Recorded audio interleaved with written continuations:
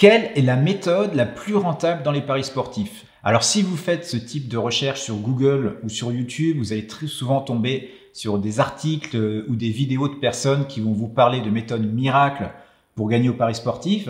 Et un point commun que la plupart de ces méthodes ont entre elles est qu'elles vont vous faire risquer beaucoup d'argent pour avoir en fait la possibilité d'en gagner très peu. Je pense plus particulièrement à une d'entre elles qu'on retrouve fréquemment qu'on appelle la martingale. Cette méthode est extrêmement dangereuse dans la mesure où au bout de 4 ou 5 paris perdus, vous allez vous mettre à parier des sommes bien au-dessus en fait de ce que vous pouvez vous permettre. Et la plupart du temps, ça se finit très mal.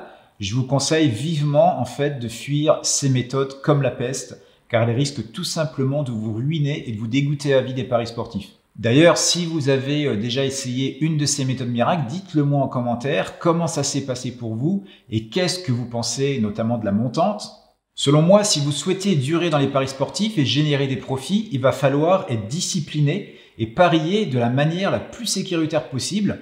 Alors je sais que parfois c'est difficile de passer ses tenter en augmentant par exemple nos mises après avoir perdu plusieurs paris tout simplement pour essayer de se refaire, mais il ne faut surtout pas. Si vous voulez, c'est comme si vous faites un régime, si vous ne respectez pas la lettre, vous n'allez pas perdre de poids. Avec les paris sportifs, c'est pareil, si vous commencez à refaire même que de temps en temps ce qui ne fonctionnait pas avant, vous allez à nouveau perdre de l'argent. Lorsque je parie, je fais toujours de manière très sécuritaire, que ce soit au niveau du choix de mes matchs, du choix de paris et du montant investi sur chacun d'entre eux. Alors attention, ça ne veut pas dire que je gagne tous mes paris, ça, ça n'existe pas, mais disons que je mets toutes les chances de mon côté pour en gagner un maximum et sans prendre beaucoup de risques. Si vous me suivez depuis un petit moment, vous devez savoir que j'affectionne particulièrement des types de paris comme le pari Asian Handicap ou encore le pari sur le match nul remboursé euh, si victoire d'une des équipes. Plus de la moitié de mes gains sont d'ailleurs réalisés rien qu'avec ces deux méthodes. Mais aujourd'hui, dans cette vidéo, je vais vous parler d'une autre stratégie dont je parle beaucoup moins souvent, mais que j'utilise de plus en plus parce que lorsqu'on l'applique correctement, on arrive à atteindre un taux de réussite extrêmement élevé, souvent supérieur à 80%.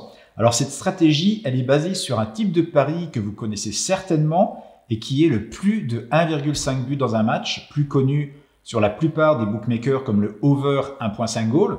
Alors la chance d'avoir au moins deux buts dans un match est quand même relativement élevée. C'est pour ça que la cote sur ce pari est en général très basse. La plupart du temps, vous la trouverez entre 1,15 et 1,35. Mais alors vous allez me dire, quel est l'intérêt de parier sur une cote aussi basse? Eh bien, je vous répondrai qu'à part l'utiliser dans un pari combiné, il n'y en a aucun. Parce que si on fait le calcul rapide, on va se rendre compte que même avec 80% de réussite sur des cotes à 1,15, eh bien, on va perdre de l'argent. Alors la solution, c'est quoi? Eh bien, ça va être de faire monter cette cote tout en gardant un taux de réussite élevé. Pour faire ça, eh bien, c'est pas compliqué. Il va simplement falloir utiliser le live betting, donc ça veut dire ne pas placer notre pari avant le match, mais durant le match. Parce qu'une fois qu'un match aura débuté, que le score reste de 0-0 et que les minutes vont s'écouler, eh bien, vous allez voir la cote du over 1.5 goal qui va monter progressivement jusqu'à ce qu'évidemment un premier but soit marqué.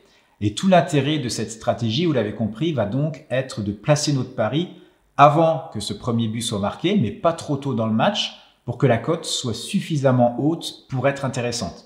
Et pour ce qui est de conserver un taux de réussite élevé, il va falloir trouver des matchs avec une forte probabilité d'y avoir au moins deux buts. Alors on veut des buts, mais pas trop non plus, parce que si les bookmakers s'attendent à ce qu'il y ait 4, euh, 5 ou même plus de buts, c'est sûr que la cote de départ du over 1.5 goal va être beaucoup trop basse pour être jouable. En fait, tout est là. Il faut des matchs avec de bonnes probabilités de but, mais il n'en faut pas trop non plus, sinon la cote risque d'être trop basse. Donc le choix des bons matchs est évidemment le plus important, mais ce qui fait euh, que cette stratégie est particulièrement efficace et que même si un but est marqué durant le match, vous allez avoir la possibilité de ne pas perdre votre pari.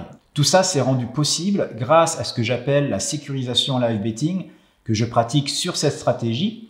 Alors pour le moment, tout ça peut vous sembler un peu flou, voire même compliqué, et cette vidéo risque d'être un peu longue si je commence à rentrer dans les détails. C'est pour ça que j'ai réalisé quatre vidéos entièrement offertes concernant cette stratégie sur le over 1.5 goal, dans laquelle je vous en dis beaucoup plus sur cette méthode très rentable qui peut vous permettre de générer plus de 40% de profit chaque année.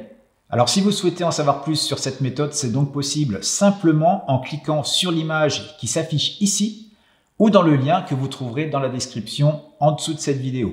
J'espère donc vous retrouver tout de suite dans cette mini formation et vous montrer comment on peut aborder paris sportifs d'une manière différente et générer des gains vraiment intéressants. Alors à tout de suite.